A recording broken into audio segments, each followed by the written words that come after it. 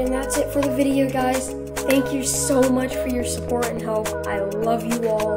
Thank you for 64 subscribers. I don't know what to say. All I have to say is thank you.